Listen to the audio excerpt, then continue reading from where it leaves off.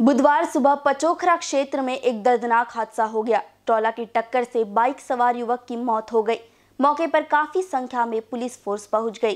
थाना पचोखरा क्षेत्र के गाँव सराय नूर महल निवासी करीब 20 वर्षीय ललतेश पुत्र सुरेश बुधवार सुबह बसई रोड के पीछे मुर्गी फार्म पर पिता के पास गया था। वहाँ से अठारह सौ लेकर मुर्गी फार्म मालिक की बाइक लेकर घर जा रहा था। रास्ते में लौटते समय आशीर्वाद पैलेस के समीप सामने से तेज गति से आ रहे ट्रॉला ने उनकी बाइक को रौन दिया। हादसा इतना भीषण था कि बाइक के परखच्चे उड़ गए।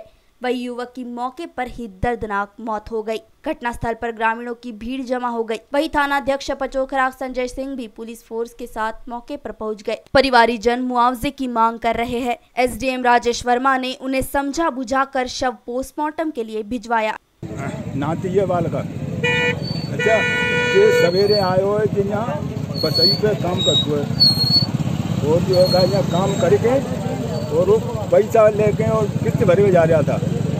वो कागज़ उधर कहीं वाके पढ़ो लिखो खूब अच्छा और ट्यूशन भी पढ़ रहा है। और नौकरी के चक्कर में भी ये वो। तो मतलब मोटरसाइकिल लेके वो घर को जा रहा था। और ये सामने से टक्कर हुई है। फिरोजाबाद से रिहान अली की रिपोर्ट।